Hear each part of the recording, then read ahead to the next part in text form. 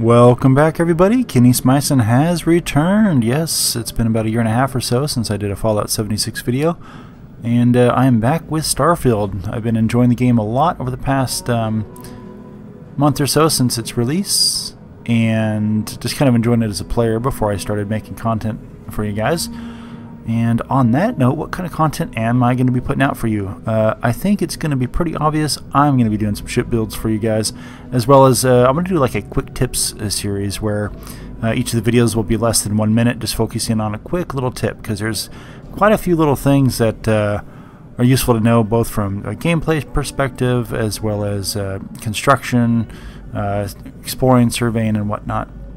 And so most of my ship build videos I'll actually show you the construction of the ship as, as I'm doing it.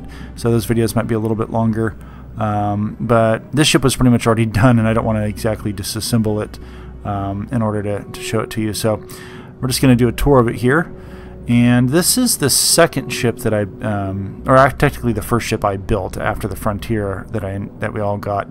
Uh, this ship went through a few different variations. It kind of got a little bigger than I originally intended, um, but it's going along with my space trucker uh, character space trucker theme. And on that on that note, I'm actually kind of role playing myself in the game as best I can under the circumstances. So it's been a lot of fun just kind of making decisions that I would personally make uh, in the context of this world and adventuring in space. Um, and so this is definitely um, uh, a pride and joy for me to be able to put out something like this in the game that goes along with my character so well. And I see a lot of people kind of doubting themselves when they're building their ships, and uh, guys, you, you can't do that uh, because it, it, doesn't take a lot. I mean, look, this thing it looks good, but admittedly, it's a flying brick. Um, but it, it's it's little attention to detail that you have to make note of. You know, like uh, being creative with the the radiators uh, you know, on the, the sides of my ship, those are actually, uh, they look a lot like solar panels, so that's why I use those. Um, with this ship design, I wanted it to have a mildly asymmetrical look to it because the thought process is, well, you know, they're going to be unloading the cargo containers, you know, off the side, so have just nothing but cargo on the one side. Um, you know, you're going to want to factor uh, placement of uh, things like the laser beams up top almost kind of gives it more of a like a headlight kind of look to it. So just kind of think of little things like that when you're building your ship. Um, I rarely ever like to leave um, a spot on my ship without something on it. So for example, um, you know I've got the windows across the entire top. I've got uh, you know on, on the sides of the ship, of course, those radiators, you know, kind of posing as solar panels, and the my guns and my missiles on the back there. Another little like attention to detail, for example, this ship has a side docker and a side bay. Um, now I put the docker on the one side here because if you think about it, if you're out in space and you get disabled and somebody's trying to board your ship, you're going to want to see through the windows what's happening. Um, and so that's kind of why I put the docker on that side, although, you know, functionally it doesn't matter, but that's just kind of an aesthetic choice that I went with. Uh, this ship here is pretty much all Stroud Eklund as much as I could, at least as far as the habitats, the cockpit, um, so on and so forth.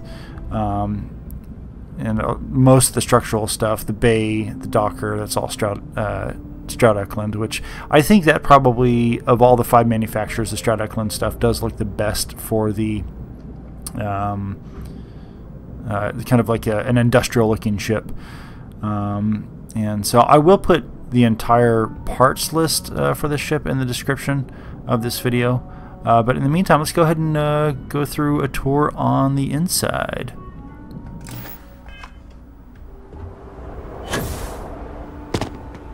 As you can see, it's got a nice imposing presence.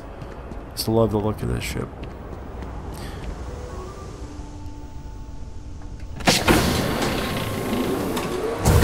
So in the bottom center here. Always here, a satisfying moment. I am, I use the 2x2 Stroud Eklund cargo container. Hello. And I have windows in every single floor spot I could put in the downstairs here. Stroud Eklund container, I like how it's got the one storage container here on the right. And just lots of um, lots of good clutter. I love my clutter in my spaceship.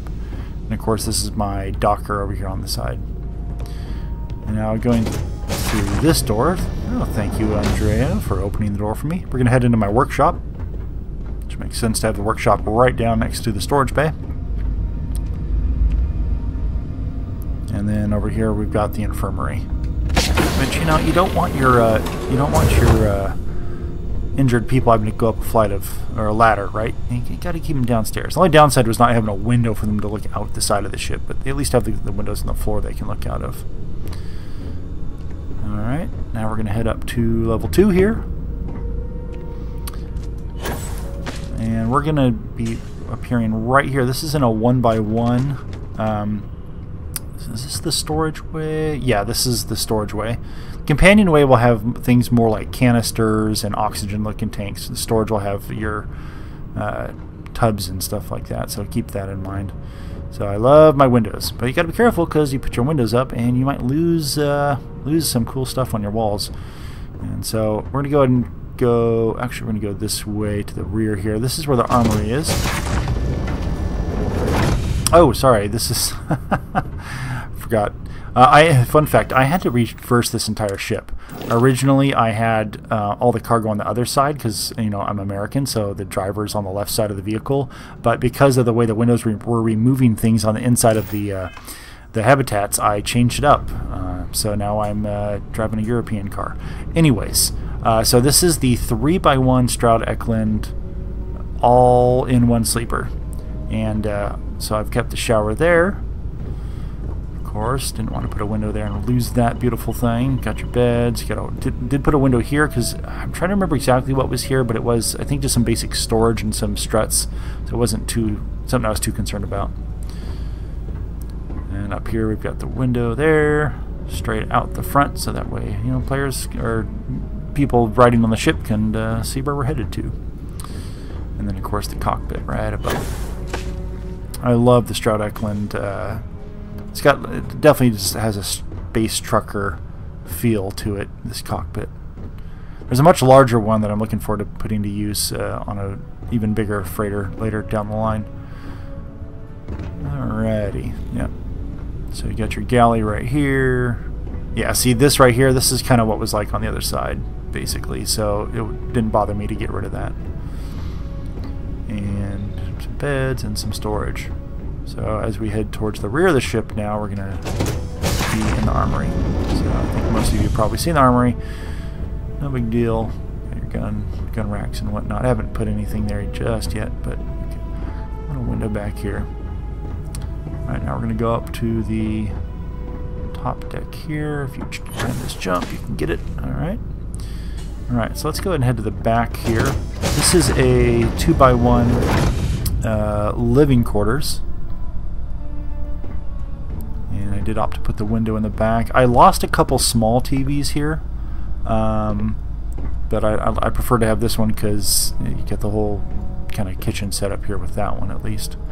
Uh, now, fun fact, when I had the ship uh, the other way around where this was on the front left corner of it, this table, when I put the window there, the table stayed with this one chair, uh, but it got rid of that one. But it was nice to see that at least something did stay because it's really frustrating how oftentimes things that shouldn't disappear at all will disappear when you put a window up.